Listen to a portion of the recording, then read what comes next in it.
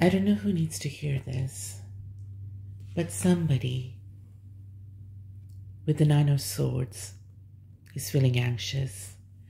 They're having sleepless nights because they feel trapped with the Eight of Swords, trapped that they cannot express, confess, or show their immense love for you with the King of Cups. They're still holding on with the Four of Pentacles and holding on dearly. You see how slippery this card is to their steely and unfeeling Emperor self. They're distracting themselves with the Eight of Pentacles, with their work, with whatever else that's happening in their life.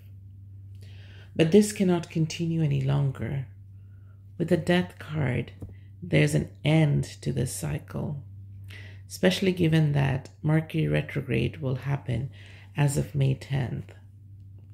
And with that energy and the Six of Cups, their emotion, their psyche, and their conscious brain will be flooded with memories of you.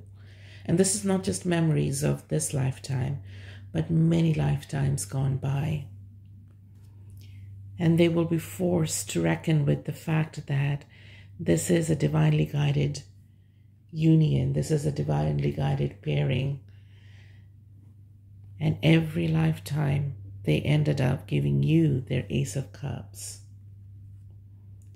With the Judgment card, the angels are watching over this union or reunion and life after life, this connection, this love story was re- resurrected over and over again, only for the lovers to come together.